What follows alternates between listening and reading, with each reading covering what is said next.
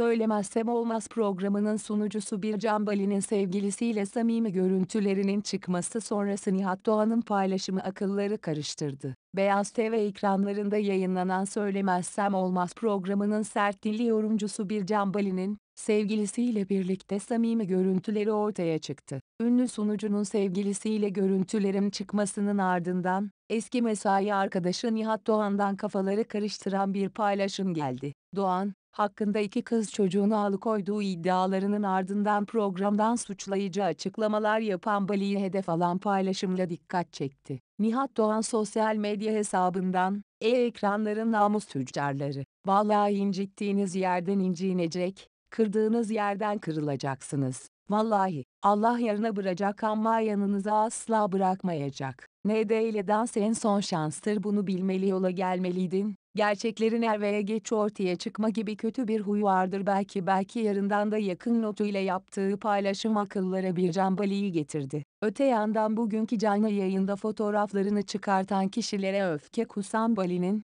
pedofiliyi sindirdiniz, cinsel istismarı sindirdiniz, tecavüzü, tacizi, evli kadınların başka adamların elini tutmasını, vatan hainini sindirdiğiniz iki bekar insanın öpücüğünü sindiremediniz. Allah'tan korkmayan herkese Allah'a havale ediyorum. Bunu kimin yaptığını biliyorum. Pazartesi belge ve şahitleriyle açıklanacak, demesi akıllara Nihat Doğan'ı getirdi.